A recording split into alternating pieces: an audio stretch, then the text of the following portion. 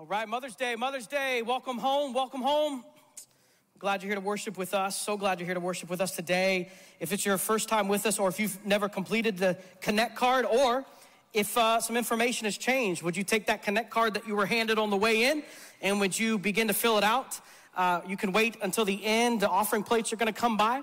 If you're a guest today, you can put those in offering plates. Uh, and then if you're a guest today, you can hold on to that card and connect with someone at our next steps area. We have a gift for you if you're a first time guest today.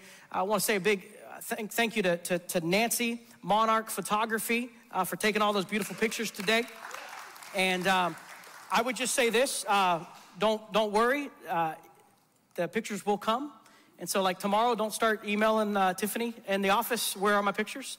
Uh, it takes uh, give us give us a few days. Give us a few days, okay? And so appreciate that, and so appreciative because it's warm out there, right?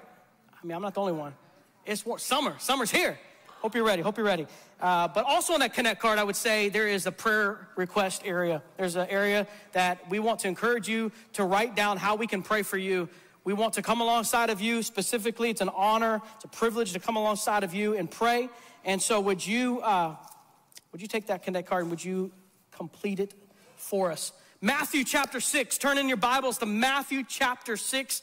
We're going to dig into the Word of God today. Hope you're ready.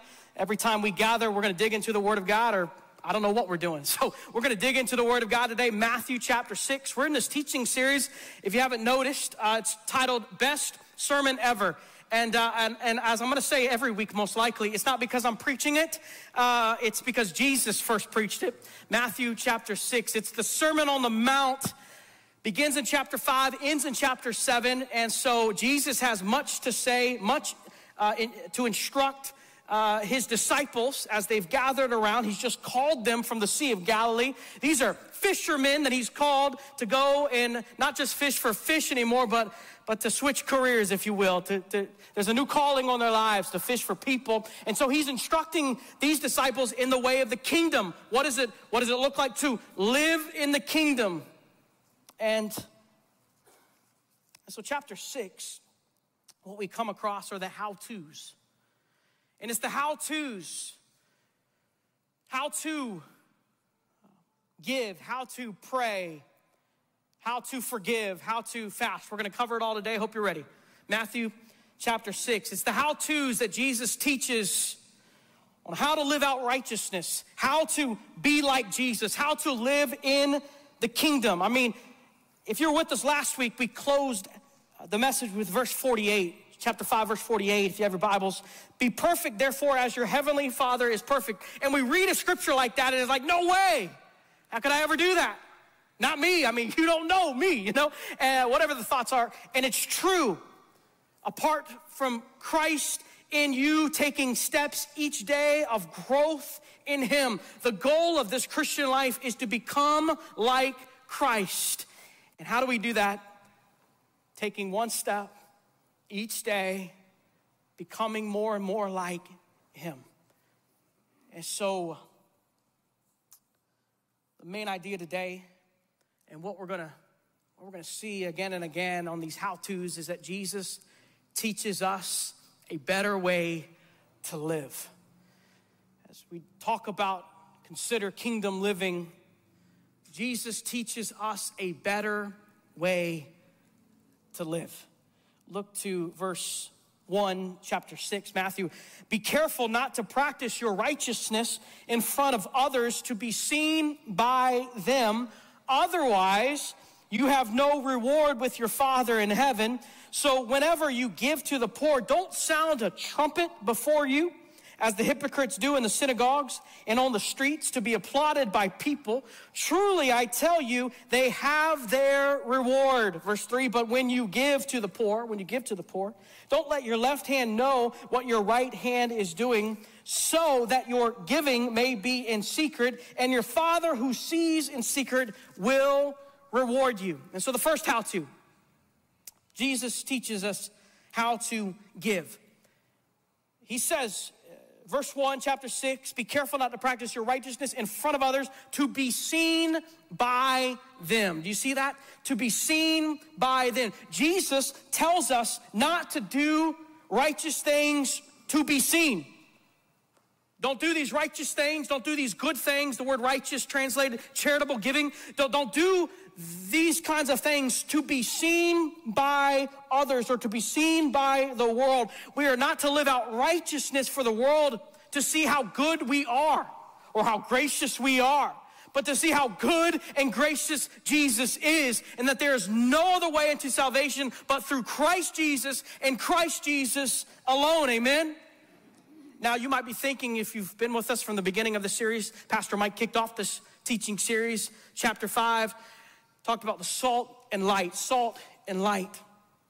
And you might be thinking there's a contradiction. There's a contradiction to this command in Matthew chapter 5, verse 16, to let your light shine before others. That's what Jesus instructed us, to let our light shine before others. And I would say, in no way, shape, or form is there a contradiction. The, the Word of God does not contradict itself, cannot contradict itself. But what Jesus is getting after, and what we've discussed the past two weeks, is it's all about our heart. It's the intentions and motives of our, of our heart. Why do we do what we do? Ask that question to yourself. Maybe, maybe write it down where you can come back next week. Why am I doing what I'm doing? Why do I do what I, I do? Jesus responds. Jesus responds in Matthew chapter 5, verse 16. This is what he says It's that others may see your good works and glorify God and give glory to God. So, why do we do what we do? It's that a lost and dying world might see the living God in us and through us. Verse 2 So, whenever you give to the poor, don't sound a trumpet. Don't sound a trumpet before you as the sin as the hypocrites do in the synagogues and on the streets to be applauded by, by, by people. Uh, Jesus says, in other words, don't make a public spectacle of your works. Uh, how, how, many times we we'll sign up to do something if it's out front and center where people can see, right? Because it, it, feels so good. It feels so good when somebody comes up and says, you know, attaboy, you know, the attaboys. It feels good. It feels good. And, and so before we know, we, we do what we do only for the attaboys, the applause of man rather than the applause of God. And so Jesus challenges our hearts here and our motives and our intentions behind every action. Why do we do what we do? At the end of the day, church, it is for the glory of God and His glory alone. Jesus says, don't do this as, as a public spectacle. Now, we've been talking about Love Week for a few weeks now. Uh, next Sunday, we kick off Love Week, and I I hope and I pray that you will participate. If you call Discovery home, that you will participate with at least one serve project. It's the one week a year that we don't uh, ask, will you? It's really, the ask is a bold ask, and it's when when will you? and so, uh, which, project fits your schedule? Or, or, even as Pastor Rowley said last week, uh, maybe take a day off to be a blessing to, to others based out of the right heart. And so, as we serve others, it's uh, it would be easy. It would be easy for you and I to say, "Wow, look, look, look at what I've done." Man, look how good I am. I cleaned this food pantry, I stocked it. So, for these hungry people to come on in and receive some food, look how good I am. And I would say, without question, that would certainly not be with the right heart or the right intention for God to get glory. You're gonna be praised, and you're looking for some trumpet to blast. And that's what Jesus is talking about here. And so, what I love about Love Week is we come under the banner of Jesus Christ and Jesus alone as the church. It's not about one individual, other than the, the person of Jesus. And so, uh, bear with me for my promotional uh, uh, slot, time slot here uh, at the end of this worship gathering. Kenny and Leanne are going to be in the back, and they're going to sign people up to serve in Love Week that starts next Sunday. In fact, uh, one of the easier projects to participate would be right here next Sunday after this 1030 worship gathering. We're going to have assembly lines. We're going to be putting together gospel presentations, partnering with one more child. These gospel presentations are going to uh, uh, be shipped out throughout the world so that kids that you most likely and I most likely will never meet face to face, but they would encounter Jesus. That through these gospel presentations, they will know that they are loved by Creator God. And Creator God sent Jesus. Jesus came to this earth, died on a cross, was placed in a grave, and he rose victorious so that they might be saved and forgiven of all their sins and have a hope of heaven. And so that's what we're going to do next week. And you say, well, that's just, you know, it's, it's I want to be more out front. Well, there's opportunities for that, but then I would also follow up again. Why are you doing what you're doing? Is it for the Lord Jesus and for his glory alone? If no one ever said good job, no one ever patted you on the back, would you still uh, sign up and would your yes be yes? Uh, so, enough about that. Jesus, back to the text, refers to the religious leaders of the day as, the, as hypocrites. Now, the first time I came across the, the true translation and meaning, and it really came alive for me, was about four years ago. I was touring the Holy Land. Uh, one more promotion if you want to tour the Holy Land with me in January 2025 uh, see me for more information. But, but, but I was there. I was in Caesarea Maritime. It's on the Mediterranean Sea. It's a beautiful site. King Herod built this incredible palace. I mean, he built stuff. He built, he built, it was all about him. It was about his ego. And that's why he built it, by the way. And so we're, we're, we're there. We're in Caesarea Maritime on the sea, on the Mediterranean Sea. And we go to this theater, and the tour guide, he begins to uh, tell us who would take the stage. And the Greeks referred to the actors or stage players as the hypocrites. And I said, Whoa. How many times we talk about hypocrites? How many times have you been identified as a hypocrite, or I've been identified as a hypocrite, or someone that you're inviting to into the church says, I'm not going because of the hypocrites. You know, we use this word over and over again. Don't be like the hypocrites. Jesus says throughout the Gospels. And so it came alive to me that day that those who take the stage and put on this mask, those are the hypocrites. And it's interesting, that was a first century uh, theater, by the way, that Herod the Great built. And, and Jesus would have, would have uh, walked the land at that period. And so Jesus is now referring to the religious leaders of the day as what? Hypocrites. And he says, don't be, don't, don't be like the hypocrites. If you're gonna give, it better be in the secret, it better be in the quiet for the Lord God to see and not for the world to see. If you seek the applause of man, you will not get the reward of God. And I don't know about you, but the rewards of God are lasting, and the applause of man are so short lived. And so each day, each opportunity, we have a decision to make. And I pray that you would make the right one, the God honoring one, to do what you have been called to do for the glory, for the glory of, of God. He says in verse 4 that your giving may be in secret, and your Father who sees in secret will reward you. He says to give in secret, to give quietly, and so, what does this mean? It simply means this is the way of Jesus. This is the way of Jesus. This is the true test of faith and sacrifice. Why am I giving? Why am I giving? Is it for the Lord to be honored and his kingdom advance, or is it for me to be praised? Jesus says, do it quietly. Charles Spurgeon once said, keep the thing so secret that even you yourself are hardly aware that you are doing anything at all praiseworthy. Let God be present and you will have enough of an audience. So good. So that's how to give. Next, how to pray. How to pray. Look at verse 5. Whenever you pray, you must not be like the hypocrites. We see that again. Again, he refers to it, Jesus refers to it. Don't be like the actors, don't be like the, the, the stage players. Because they love to pray, standing in the synagogues and on the street corners to be seen by people. Do you see this? Don't, don't, don't, don't be like them. They're doing it to be seen by people. Truly, I tell you, they have their reward. Verse 6 But when you pray, go into your private room, shut your door, and pray to your Father who is in secret, and your Father who sees in secret will reward you. Verse 7 When you pray, don't babble like the Gentiles. Some of y'all like praise God because some of y'all are like few of words, right? And, uh, praise God doesn't have to be any kind of length right here. He says, Don't babble. Don't babble like these people. Since they imagine they'll be heard by their many words. Don't be like them because your Father knows the things you need before you ask Him. And so, how to pray? We, we see in the text there's uh, some wrong kind of examples of how to pray, and then there's some right kind of examples of how to pray.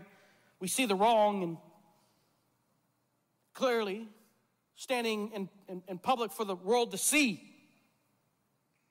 For the world to see. And then we see go, go into private, in secret. We see in verse 7 when you pray, don't babble like the Gentiles. Let's, let's unpack that a little bit further. Uh, Rabbi Levi said, Whoever is long in prayer is heard. Another saying has it, whenever the righteous make their prayer long, that prayer is heard. And so Jesus is, is going against the culture of the day. He's going against the cultural norm of the day. He's going up against the religious leaders of the day and uh, uh, of Judaism who would say the longer you pray, the more holier you are, the longer you pray, the more God hears you. And Jesus says, don't babble on in that kind of a way, in that kind of a light.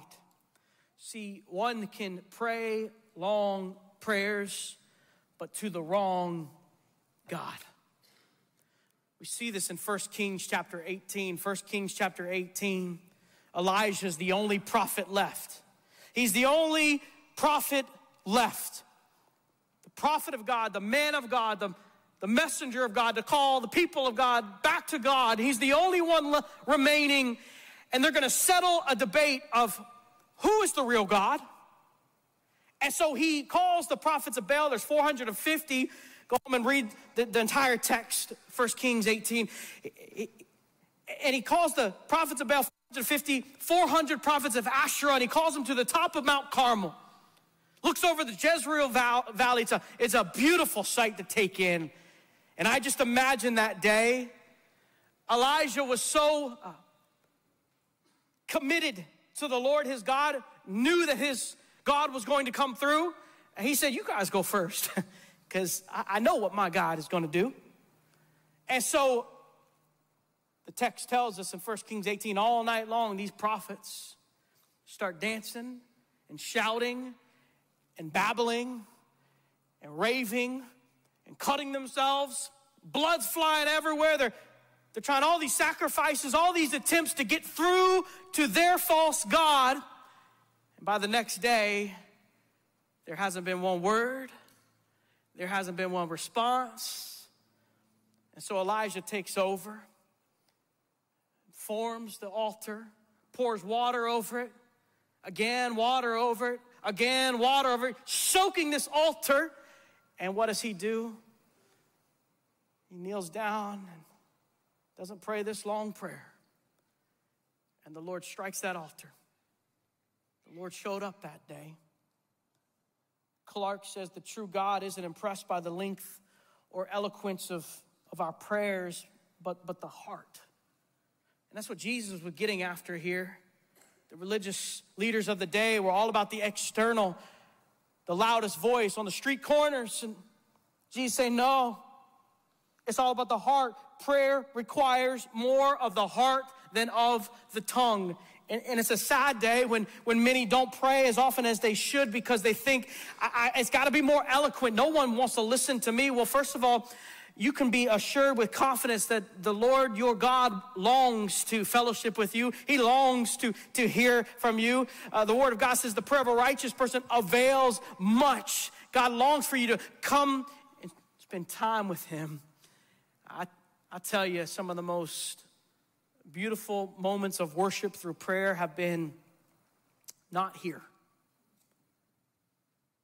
They've been in the quietness of my shower or, or the, the quietness of my toilet bowl room uh, or the quietness of my car. No technology, just me and the Lord. Those have been some of the most beautiful moments of, of encountering the Lord, my God, in all his glory. And I want to encourage you. This idea that you got to have it all written out, you got to have it all worded out, you got to be all eloquent. Now, God just wants your heart. And he wants to spend time with you. That's how to pray. Well, that's how not to pray. Now let's go to how to pray. the Lord's Prayer. It's the model prayer Verse 9, therefore, you should pray like this Our Father in heaven, your name be honored as holy, your kingdom come, your will be done on earth as it is in heaven. Give us today our daily bread and forgive us our debts as we also have forgiven our debtors. And do not bring us into temptation, but deliver us from the evil one. Now, I recognize many uh, of us memorize uh, that good old King James version and you had to recite it over and over. Anybody, anybody memorize that? And, and, and I'm not going to ask you to raise your hand for the next question because the next question is, do you even know what you were saying on the next? It's like, it's like we, we just, we're just memorizing something because somebody told me to, I was going to get beat, you know? And so I, I'm just to, I'm just to do it. But what does it, what does it really mean? And, and so what Jesus is, he's teaching his disciples how to pray. Here's the, the right way to, to pray. And what we find in this model prayer is this we find three three petitions of God centered worship, three points of God centered worship. We, we, we, find three petitions uh, of human centered needs, and it's in that order it's who God is, and then it's here are my needs. Now let's look. Our Father in heaven, Jesus teaches his disciples, start there. Our Father in heaven, your name be honored as holy. Why do we start there? Because we need to acknowledge who God is. Oftentimes, uh, oftentimes the, the, struggle is real, and, and, oftentimes we just we, we, we come to God and we just lay it all out there, right? We just lay it. This is what I need. God, show up right now. And we forget who He is and what he's capable of. And I want to encourage you. Jesus taught the disciples, and he's teaching us to pray this way. Acknowledge who God is. I believe the church has, has lost a reverence of who God is. His name is to be honored as holy. What does that mean? He's set apart. There's no one like him. No one comes close to him. But yet we've reduced God down to, to, to my best friend. No. He's the creator of all things who loved the world enough that he would give up his one and only son. And Jesus would walk this earth for 33 years. And the last three, he would endure pain and suffering. Those final hours, he would be crucified on a cross. We've lost the reverence of who God is and how great and how glorious and how majestic. And he is worthy to be praised beyond the one hour on a Sunday, but our lives. He's demanding our lives. And so we look at this prayer and we need to acknowledge who God is. Prayer reminds me of who God is well before I bring my needs to Him. I need to acknowledge who He is, be remembered that all things are possible, that He is the God of unlimited resources. Acts chapter 16, Paul and Silas. Paul and Silas, uh, I shared a, uh, brought, brought the word to Recovery Church on Monday night. I'm, I'm thankful for Pastor Lyle and Darlin doing an awesome work. Wade and Angie coming alongside of them and, and, and many of you. But Monday nights, 5.30 right here for dinner, 6.15 for worship. And I would encourage whatever you're struggling with, get here. And you, you feel lonely, you need community, You're, there's an addiction that going on in your life and, and, and you're trying to keep it secret and thinking that's the way. No, get here, get here. And so I shared, I shared a, a message on what do we do when we want to panic? What do we do? How do we respond when we want to panic? And, and, and so I, I, I, took us to Philippians 4, but then uh, there was one verse in Acts chapter 16. Paul and Silas have been preaching the gospel in Philippi. They've been preaching this gospel in Philippi, and, and, and, um, and they've been taken, and they've been beaten, and they've been flogged and thrown in prison. And I, I don't know about you, but um, I, I think I'd be sitting in a corner somewhere crying about now. but not these men. This is what they this is what they said. The scripture says, but about midnight. About midnight, Paul and Silas were praying and singing hymns to God, and the prisoners were listening to them. What a response! They'd just been beat, they'd just been thrown in prison. It's not looking good in case you like can't read through the lines here, you know? And this is their response. They're praying and singing.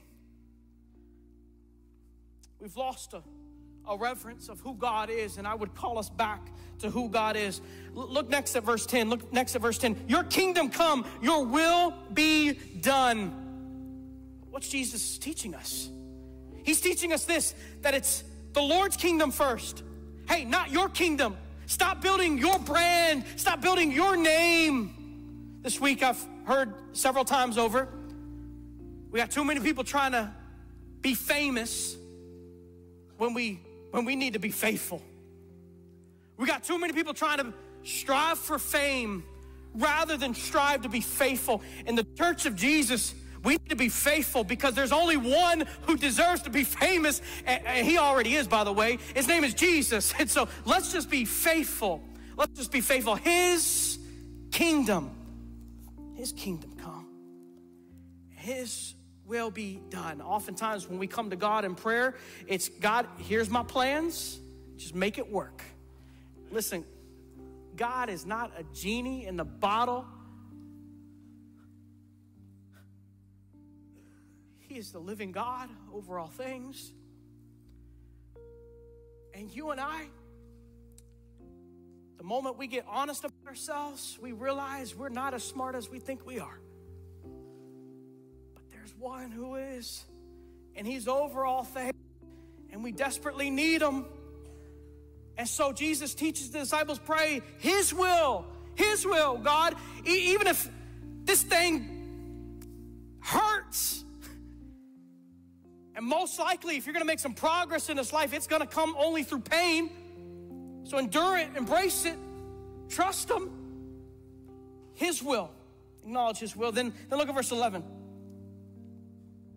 Give us today our daily bread. Give us today our daily bread. Acknowledge His provision. Acknowledge His provision. The, the prayer is for our needs. Listen, church, the prayer here is for our needs, not our greeds. Oftentimes, God, I want this. Here it is. I saw it on Instagram. I want this. And, and uh, but what would it look like to thank God for the bread that is before us? Uh, in our house, for the meat that is before us, you know? Thank, thank you, God, for how you supply for all our needs according to your riches. And so acknowledge his provision as you come to him through prayer. Acknowledge his pr- provision. Then, then look at this acknowledge his forgiveness. Acknowledge his forgiveness and forgive us our debts as we also have forgiven our debtors. Forgive us our, our debts. Acknowledge his forgiveness. Oftentimes we forget that we were the wretched sinner. I was the wretched sinner that has been forgiven and made whole because of the righteousness of Jesus. And so, as we pray, thank you, God, for your salvation. Thank you, God, for forgiving all my sins. And here's what it does the lies that are coming from the enemy, as we pray and acknowledge his forgiveness, the focus shifts from the sin the sinful state to the Savior. And that's when everything changes. When our eyes are fixed on Jesus. Look at the last verse 13. And do not bring us into temptation, but deliver us from the evil one.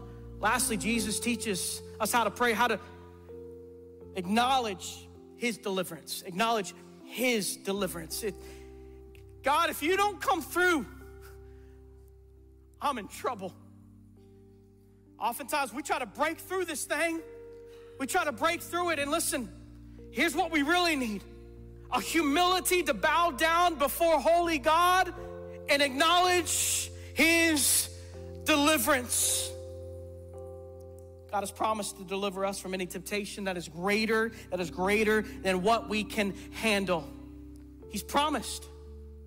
Promise is found in 1 Corinthians chapter 10, verse 13. Would you write that reference down? 1 Corinthians 10, 13. No temptation has come upon you except what is common to humanity, but God is faithful. Do you see this? God is faithful. Somebody's struggling with some stuff, real stuff right now. You know, like how, how, how do I break through it? How do will you rely on the, the living God? will you rely that He's made a way? Acknowledge, acknowledge His, His deliverance. But God is faithful. He will not allow you to be tempted beyond what you are able, but with the temptation, He will also provide the way out so that you may be able to bear it. Do you, do you see this? Acknowledge His deliverance. Running out of time. Lives next how to forgive. For if you forgive others, their, verse 14, if you forgive others their offenses, your heavenly Father will forgive you as well. But if you don't forgive others, your Father will not forgive your offenses. How, how, how, do, how do we forgive?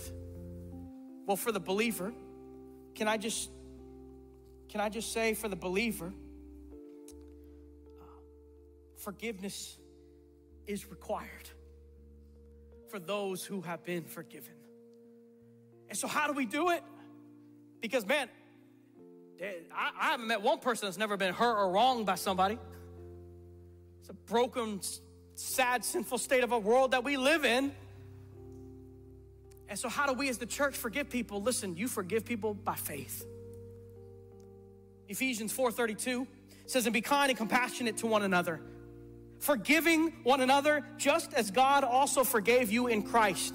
The, the moment we pause and consider, nah, that person doesn't deserve my forgiveness, we must consider that you and I did not deserve to be forgiven. But we are forgiven people. We are forgiven people, empowered by the living God to forgive others. Who has hurt you? Who has harmed you? As a believer in Christ Jesus, there is no other way. Forgive in faith and be set free. Jesus has much to say about forgiveness. We see it in Matthew 5, we see it in Matthew 9, we see it right here in chapter 6, we see it in, in chapter 18. Jesus has much to say about forgiveness, but here the emphasis is on the fact that it is not an option. Now, lastly, how to fast.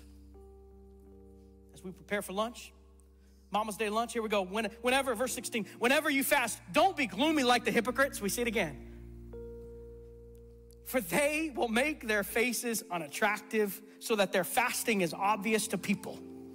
Truly, I tell you, they have their reward. But when you fast, put oil on your head and wash your face so that your fasting isn't obvious to others, but to your Father who is in secret. And your Father who sees in secret will reward you the hypocritical religious leaders of the day as they took part in the fasting, which, by the way, according to Luke chapter 18, verse 12, it was twice a week. The, the Pharisees and scribes, twice a week, Luke 18, 12, uh, says that uh, they would fast. And so when they would fast, they, they wanted everyone to know how hard it was, how hard it was, how difficult. Anyone that's fasted, by the way, you know how hard. And, and so they wanted everyone to know, though. And Jesus says, no, there's a better way. Don't let anybody know. You go about your business. What is fasting? Fasting is giving up something uh, physical for, for, for, for, for, for, the, for something spiritual. God, I want to encounter you. God, I want to hear from you. You got a major decision. Go, go to the Lord in prayer and take time to fast. What is fasting? It's, fasting is all about sacrifice.